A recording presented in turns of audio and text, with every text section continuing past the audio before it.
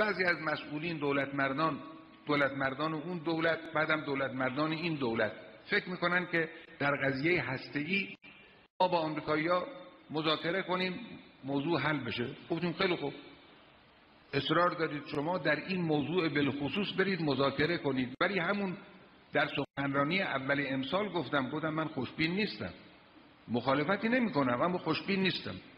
ببینید مرتب پی در پی اظهارات تخیف آمریکایی ها رو.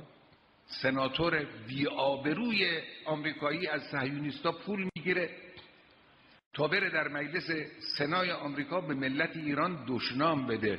دشنام سریع نه اینکه اهانت کنه. دشنام میده. آیت الله خامنه‌ای در جمع گروهی از مردم آذربایجان چنین گفت. یه عده سعی نکنن چهره آمریکا رو بزک کنند آرایش کنند زشتی ها و وحشت آفرینی ها و خشونت ها رو از سیر آمریکا بزدایند در مقابل ملت ما به عنوان یک دولت علاقمند انسان دوست معرفی کنند. سعی نکنند. اگر سعی هم کنن سعیشون بیفایده است. و بخش دیگری از صحبت امروز رهبر جمهوری اسلامی رو با هم گوش کنیم. مسئله هسته هم اگر روزی حتی به فرض محال بر طبق نظر آمریکا حل بشود باز یه مسئله دیگه دنبالش بیاد. الان ملازمید سخنگویان دولت آمریکا بحث حقوق بشر بحث موشکی بحث سلاح اینا رو به میان آوردن. آقای نوریزاد در مسیری که جمهوری اسلامی در تعامل با آمریکا تماسهای دو جانبه که رخ داده قرار گرفته صحبت های امروز رهبر رو هم شنیدیم. به نظر شما ایشون بخشی از مشکل یا راه حل؟ ببینید آقای دهخانپور هیاهویی که با پیروزی انقلاب در ایران به پا شد و اسمش شد استکبار ستیزی یا آمریکا ستیزی یا اساسا غرب ستیزی. من شخصا این اطفال رو یک فریب بزرگ می‌دونم. حاکمان ما هیچگاه در این ستیز تنزگونهشون از شعار پا فراتر نگذاشتن. به همین دلیل که اونها مردم رو شعارخوار تربیت کردن. آقای خامنی شاید اول شخصیتی است در ایران که مصرف دشمنش از همه بیشتره. عمدتا هم منظورش آمریکاست من هیچ وقت نه دشمن مصرفی ایشون رو باور کردم و نه ستیز ایشون رو با این دشمن. به صورت ظاهر انقلابیون ما و به ویژه خامنه‌ای از این روی با آمریکا مخالفن که از اسرائیل حمایت می‌کنه. و به, و به این دلیل خواهان محض اسرائیل از صفحه روزگارن که اسرائیلی ها خاک فلسطین اشغال کردن و مردم مسلمان فلسطین رو می‌کشند و کشتن. من این هیاهو رو ادا اطفار مینامم چرا که اگر قرض دفاع از حقوق مسلمینه روزها بله روزها زدن جلوی چشم دنیا و جلوی چشم آقای خامنه ای نسل چچنی های مسلمان رو از روی زمین ورداشتن شکن کردن. من تمام صحبت های خامنه رو زیر و رو کردم. یک جمله ایشون ندارن که یک تشری یک اتابی به روزها کرده باشن. مطلقا. و همین برای هر انسان فهیمی شک برانگیزه. روزها علل خصوص در داستان هسته‌ای بزرگترین کلاه رو سر آقای خامنه‌ای گذاردن و تا تونستن با امضای شخص ایشون چون ایشون دیگه داشت این ماجرا رو مدیریت می‌کرد پولهای بی زبان ما رو جارو کردند و بردن. آقای خامنه‌ای یک نطق علیه روزها تا حالا نکشید. مگر میشه روزها پول و اعتبار و اعتماد ملی ما رو قارت کرده باشن؟ اما رهبر به اینکه روزها رو شماتت کنه مدام از یک دشمن فرضی اسم آمریکا اسم می‌بره. به همین دلیل آقای خامنه ای برای آمریکایی‌ها مطلقا مزاحم و مشکل و سنگ پیشفان نیست. مطلقا. برای آمریکایی ها حضور آقای خامنه ای با یه رئیس جمهور مثل احمدی نژاد بسیار بسیار ایدئاله. چرا؟ چون آمریکایی ها برای خلاف ما به دنبال منافع ملیشون هستن. هر دیکتاتوری هر بیسوادی هر باسوادی هر تحصیل کرده و تحصیل نکرده اگر بتونه این منافع ملی رو برای آمریکایی ها بهتر و بیشتر تضمین کنه مطلوب سره در ایران اگر عقل حاکم بود مطلقا کسی به دنبال داستان هسته ای اون هم با این غلظت نمی‌رفت. حاکمان عاقل بیش از اون که به منافع آمریکا و روسیه بیاندیشن به منافع ملی خودشون و ها میدن. منتها حاکمان جاهل حاکمان لافزن و دروغ پرداز میلیارد میلیارد پول بیزبون مردم میریزن به جیب اجانب و یه مش شعار میریزن تو سفره نفهمی مردم. بله. برآمدن فردی مثل میرحسین موسوی یا هر کسی که به دنبال حاکمیت عقل باشه برای آمریکایی و روس ها نامطلوبه. تلفیق آقای خامنه ای و احمدی نژاد اکسیر حیاتی است. آقای دهقانپور برای آمریکا. آمریکا با این اکسیر نفس تازه می‌کنه و حالا که با حاکمیت عقل در ایران راه نفسش یا بهتر بگم راه زیاده خواهیش بند میاد. در کل بگم که ستیز آقای خامنه ای با آمریکا جز شعار و جز حرف هیچ نبوده و هیچ نیست. آقای نورزاد حتما به شما برخواهیم گشت و بیشتر باتون صحبت خواهیم کرد. اون نامه‌ای که نوشتید و ده ها دلیل بردید برای اینکه رهبر جمهوری اسلامی باید کنار بره به اصطلاح. بخشی از صحبت امروز رهبر جمهوری اسلامی رو با هم بشنویم و بعد بحث رو با آقای خادم دنبال می‌کنیم. کاری که وزارت خارجه ما و مسئولین دولتی ما شروع کردن این کار ادامه پیدا خواهد کرد. ایران نقض اونچه که قرار گذاشته است و عهد کرده است رو نخواهد کرد. اما آمریکایی ها با انقلاب اسلامی دشمنن با جمهوری اسلامی دشمنن با این پرچمی که شما مردم بلند کردید دشمنن و این دشمنی با این چیزها فرو نخواهد نشست.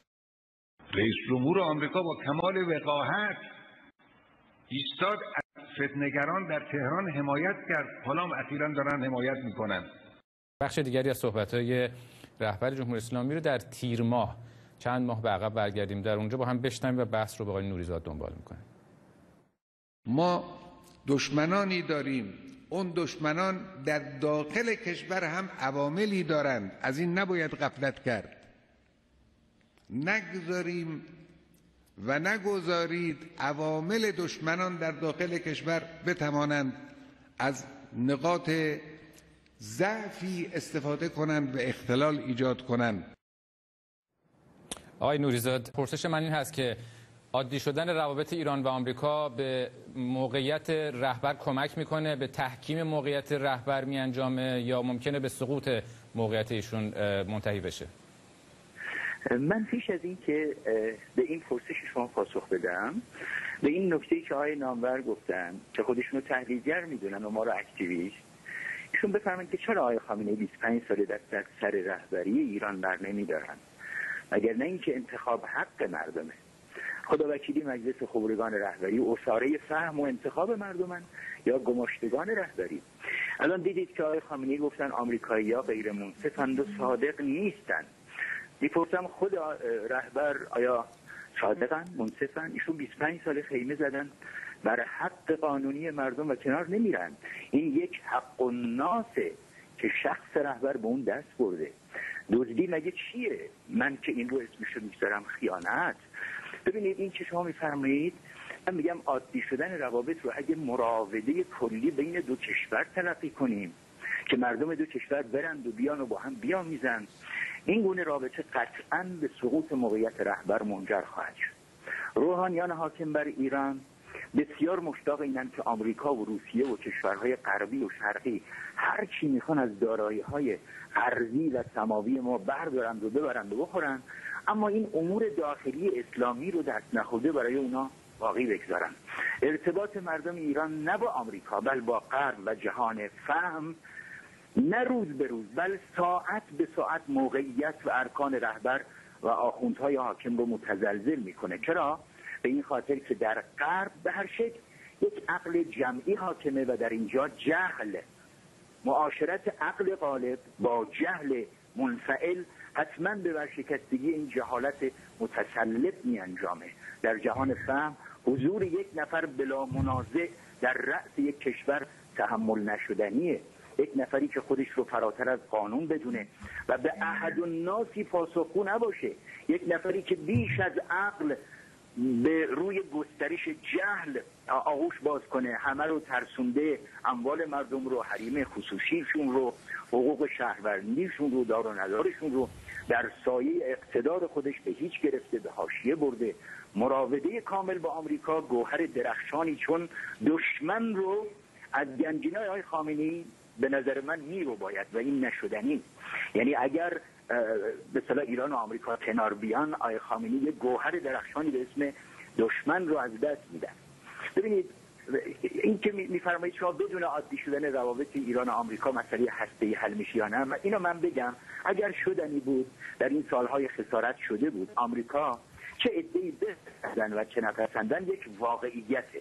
جمهوری اسلامی آقای خامنه‌ای این همه گرفتاری و پسرفت و پسماندگی مگر در امور افغانستان عراق بحرین سوریه دخالت نمی‌کنه؟ ایران این دخالت های به نظر من ننگینش. می‌خواد بگه من هستم و چون هستم دخالت می‌کنم. ایران میگه من یک واقعیتم. منو باید در نظر بگیرید.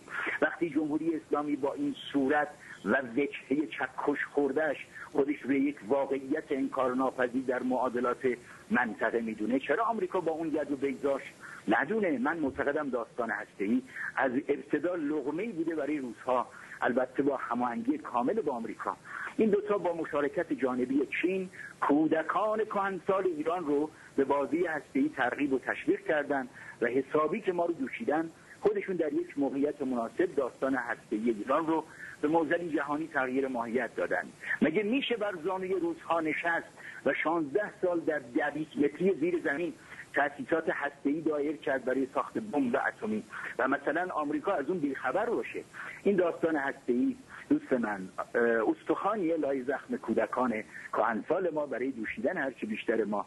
تا زمانی که در اینجا پول هست و عقل نیست کشور ما لغمه چرب برای آمریکا و برای روسیه و برای چین. آقای نوریزاد با این توصیف با این مطلب تحلیلی که شما ارائه می‌کنید باید این گونه برداشت کرد که طبیعی است که پس جم... رهبر جمهوری اسلامی مخالفت بکنه با این روند. اگر اینطور که شما میفرمایید که این مسیر نهایتا به تضعیف موقعیت ایشون منجر خواهد شد برخلاف اونچه که آقای نامور حقیقی گفتن که ایشون در مسیر تعامل قرار خواهد گرفت شما اعتقاد دارید که چون به تضعیف و احتمالا سقوط موقعیت ایشون منجر میشه ایشون مخالفت می‌کنه با این مسیر با این روند؟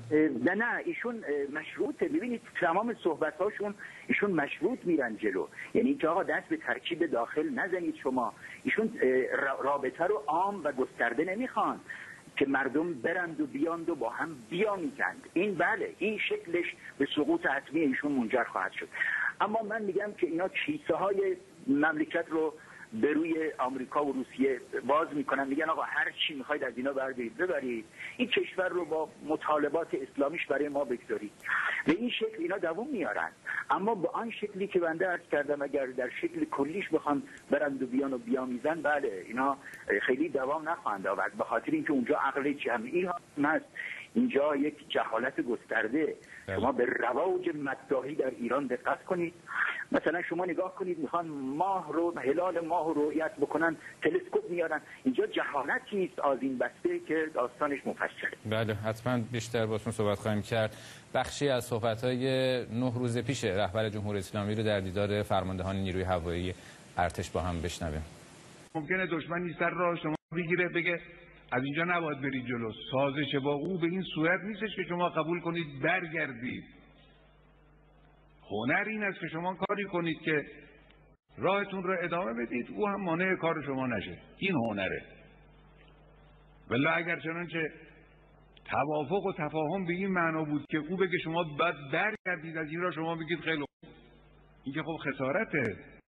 آقای نوریزاد شما هم همین خوشبینی رو دارید همین نگاه برشک آقای خادم رو دارید. مشکل شخص رهبر بحث نهاد ولایت فقیه ما نیاز داریم به یک نهاد محوری مرکزی که قدرت مرکزی کشور رو بتونه حفظ بکنه. شما هم چنین برداشتی دارید بله متاسفانه جامعه ما اینجوری تربیت شده.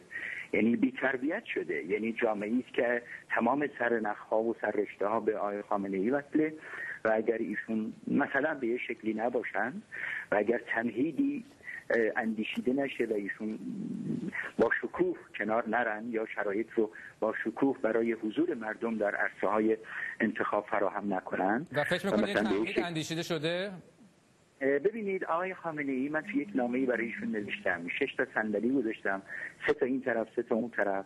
توی سه تا این طرف به اصطلاح معمر قذافی بود و صدام صدام. اون طرف هم گاندی و نلسون ماندلا. یک صندلی این ور خالی بود یک صندلی اون طرف. به ایشون گفتم خب انتخاب کنید. کجا می‌خواید بنشینید؟ خب متاسفانه ارتباط تلفنی ما با آقای نوریزاد قطع شد.